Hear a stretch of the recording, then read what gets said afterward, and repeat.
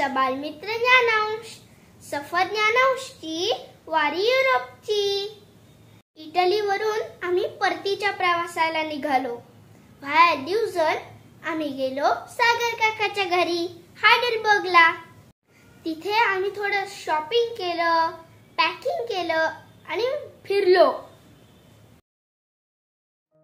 हायडलबर्गला जिलाटो ice cream खाल्लं भटकलो एक दिवस राहिलो. हायडलबर्ग शहर मला खूप आवडलं.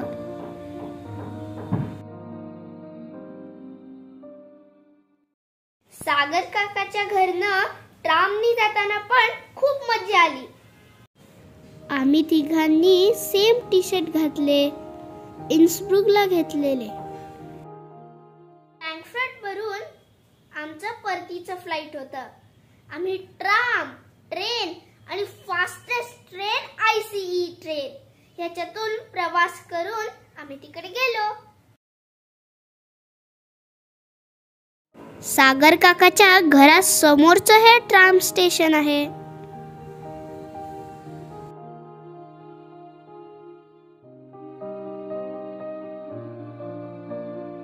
आय चा प्रवास तर सगळ्यात भारी होता. फुल स्पीडमध्ये. मी तिकडे चित्र पण काढलं.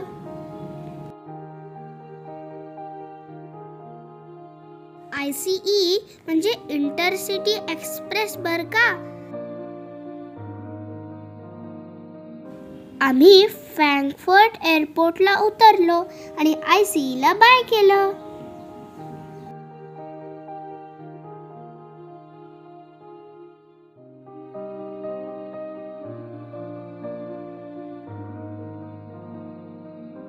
हायडलबर्ग टू मॅनहाईम आणि मॅनहाईम वरनं आय ईनी फ्रँकफर्टला.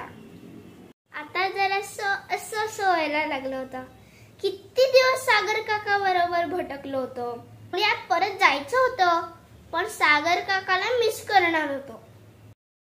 We love to travel now flying back to India Sagar काका लवकर ये.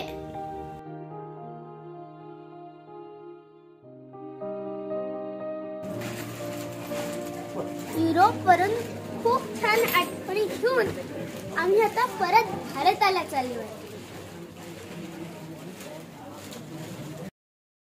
दिल्ली एअरपोर्टला डोसा खायला आणि सांबार प्यायला मज्जा आली. चटण्यांचा तर तिरंगा झाला होता.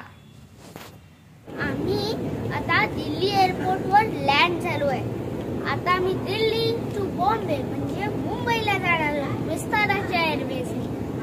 तिथून टॅक्सी घेऊन आम्ही पुण्याला परत जाणार आहोत घरी हे बघा किती सुंदर आहे दिल्ली एअरपोर्ट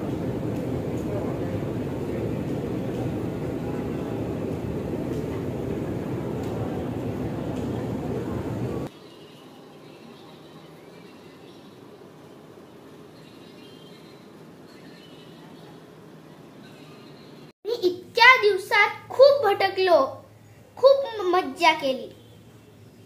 आणि हे तुमच्या बरोबर शेअर करता आलं म्हणून खूप आनंद होत आहे युरोपच्या आठवणी आमच्या फोटो आणि व्हिडिओ या रूपात आमच्या बरोबर नक्कीच राहतील. थँक्यू पाहिल्याबद्दल सफर ज्ञानची वारी युरोपची. बाय बाय चौदा दिवसात पाच देश पाहिले. France Germany Austria Italy Switzerland.